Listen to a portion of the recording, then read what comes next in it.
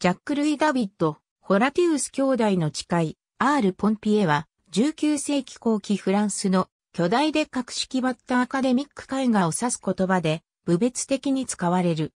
直訳すれば、消防士の美術。当時のフランスの消防士が被っていた馬の尻尾の毛のついた風変わりなヘルメットに由来する。そのヘルメットは、このジャンルの作品の中に出てくる偶意的な化身、古代ギリシアローマの戦士、またはナポレオンの騎兵の被っていたギリシア式のヘルメットによく似ていた。一説には、ポンピン、ポンピのシャレとも言われている。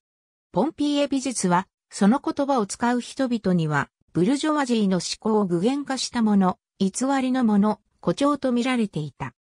もちろん、このジャンルの絵を支持する人は、この言葉を意味嫌った。ここ20年、アール・ポンピエは再評価を受けている。その功績の一部は、パリのオルセー美術館に起因する。そこでは、アール・ポンピエが当時の印象派、写実主義と同等に展示されている。ルイス、マリエル・チャーリー著、マニーフェスト・ポンピアがパリで出版されたのは1990年のことである。著者は続いて、ラル・ポンピアも出版した。